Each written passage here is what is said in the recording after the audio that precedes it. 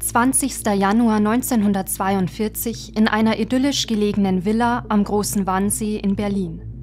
Reinhard Heydrich, der Chef des Reichssicherheitshauptamts, lädt ein zu einer Besprechung mit anschließendem Frühstück. Auf der Gästeliste stehen 14 führende Vertreter der SS, der NSDAP und der Reichsministerien. Alleiniger Punkt auf der Tagesordnung die Endlösung der Judenfrage. Was als Wannsee-Konferenz in die Geschichte eingeht, ist die grundlegende Organisation des Unbegreiflichen, die Organisation des systematischen, industrialisierten Massenmords an den europäischen Juden.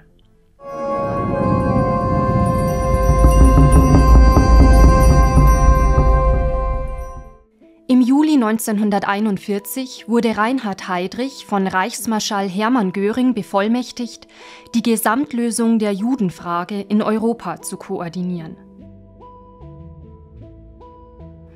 Bis dahin waren Juden im Deutschen Reich nicht nur in Massen zur Auswanderung gezwungen worden. Seit Kriegsbeginn und verstärkt seit dem Überfall der Wehrmacht auf die Sowjetunion im Juni 1941 eröffneten sich dem NS-Regime ganz neue Dimensionen für ihre sogenannte Judenpolitik.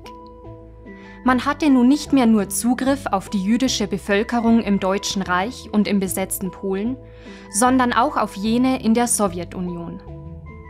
Anstelle von Vertreibung und Auswanderung der deutschen Juden strebten die Nationalsozialisten mehr und mehr den Plan einer völligen Ausrottung aller europäischen Juden an. Dies sollte über 11 Millionen Kinder, Frauen und Männer einschließen. Wann genau diese Entscheidung getroffen wurde und ob hierzu ein eindeutiger Befehl Hitlers ausgemacht werden kann, darüber ist sich die Forschung uneins. Aber wohl spätestens im Dezember 1941 müsste der Entschluss gefallen sein. Denn mit dem Stillstand der deutschen Truppen an der Ostfront und mit dem Kriegseintritt der USA wurde den Nationalsozialisten zunehmend bewusst, in welcher Sackgasse sie sich befanden. Sie sahen keinen anderen Ausweg mehr, als die mörderischen Verbrechen radikal zu Ende zu führen und zu siegen, um nicht im Falle einer Niederlage selbst dafür büßen zu müssen. Bereits vor dieser endgültigen Entscheidung waren Juden zu Hunderttausenden nach Osteuropa deportiert worden, wo sie in systematischen Massenerschießungen auf brutale Weise ermordet wurden. An diesem sogenannten Holocaust by Bullets waren nicht nur Einheiten der SS und der Sicherheitspolizei, sondern auch die Wehrmacht beteiligt. Auch Vernichtungslager waren bereits im Bau, in denen man erste Versuche zur Tötung mit Giftgas durchgeführt hat. So zum Beispiel in Chelmno, wo Menschen in speziell präparierte Lastwägen, sogenannte Gaswägen, gepfercht und anschließend auf der Fahrt mit den eingeleiteten Auspuffgasen erstickt wurden.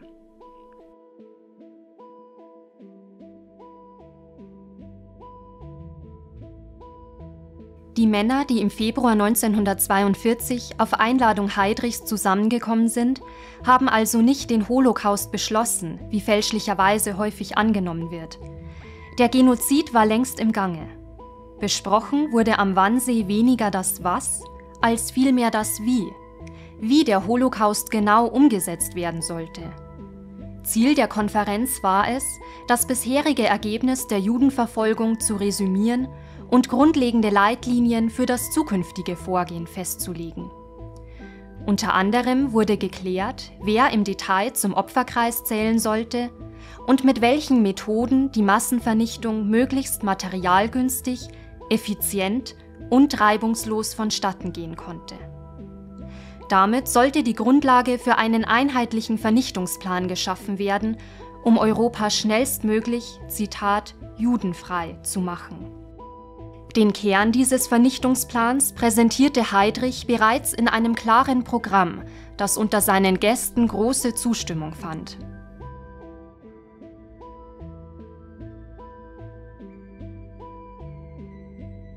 Besonderen Klärungsbedarf hatte die Frage nach dem Umgang mit sogenannten Mischlingen und Juden in Mischehen, die seit der Etablierung der Nürnberger Gesetze im Jahre 1935 zwar massiv diskriminiert wurden, aber meist noch nicht um ihr Leben fürchten mussten. Man einigte sich schließlich darauf, früher oder später auch sie, bis auf wenige Ausnahmen, in die Mordpläne mit einzubeziehen. Festgehalten wurden diese und weitere Beschlüsse in einem von Adolf Eichmann verfassten Protokoll. Von den ursprünglich 30 Exemplaren ist nur eines erhalten geblieben. US-Truppen haben es nach Kriegsende in den Akten des Auswärtigen Amtes entdeckt und sichergestellt. Es gilt als eines der wichtigsten Zeugnisse des Holocausts. Denn es offenbart, wie die radikale antisemitische Rassenideologie über die weit verzweigten Arme des NS-Staates bürokratisch und arbeitsteilig in die Tat umgesetzt wurde. Darüber hinaus gewährt das Dokument einen Einblick in die nüchterne und euphemisierende Sprache der Wannsee-Konferenz. Von Aussiedlung, Evakuierung, natürlicher Verminderung und Sonderbehandlung ist die Rede.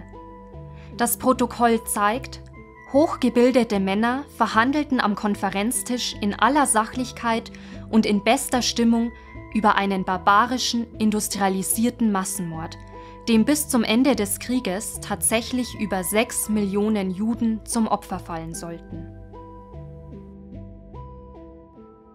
Liebe Flossenfreunde, ich hoffe, ihr fandet dieses Video informativ und gut gestaltet. In der Endcard findet ihr noch zwei weitere Videos. Einmal zum Thema Gleichschaltung im Nationalsozialismus und einmal zum Thema Kriegsverbrechen und Völkermord. Wir sehen uns dann nächste Woche wieder. Bis dahin, ciao.